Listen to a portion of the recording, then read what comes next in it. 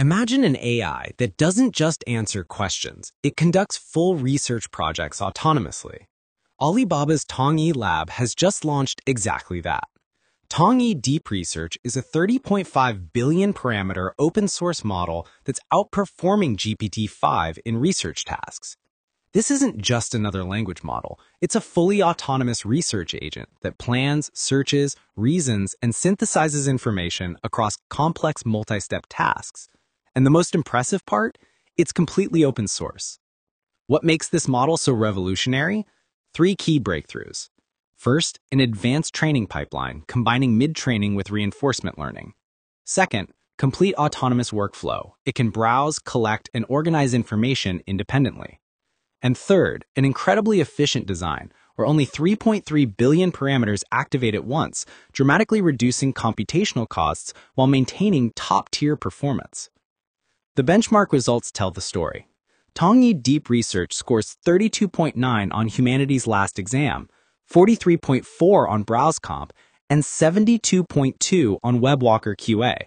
These aren't just competitive numbers, they're leadership positions in reasoning and tool use benchmarks. In head-to-head testing, it consistently outperformed not just GPT-5, but also Claude 4.5 and DeepSeek v3.1. This is the first time an open source model has demonstrated such comprehensive superiority over leading commercial systems. Let's put this in context. We have Tongyi Deep Research, open source, research focused, and leading in benchmarks. Then we have GPT-5, closed source, general purpose, and now outperformed in research tasks.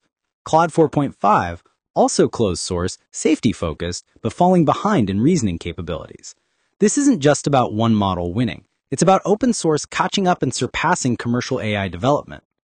The secret sauce, a sophisticated two-stage training process. First, mid-training builds foundational reasoning capabilities. Then, reinforcement learning refines research strategies through reward-based improvement. This combination creates an AI that doesn't just process information, it develops research methodologies and improves its approach over time, much like a human scientist would. Here's where it gets really clever. While the model has 30.5 billion total parameters, only 3.3 billion activate for any given task. That's just 11% of the total capacity. This sparse activation design means you get state-of-the-art performance without the massive computational costs typically associated with large models. It's like having a full research team available, but only paying for the specialists you actually need for each project. This represents a fundamental shift in AI development. Tongyi Deep Research democratizes advanced research capabilities, making them accessible to anyone.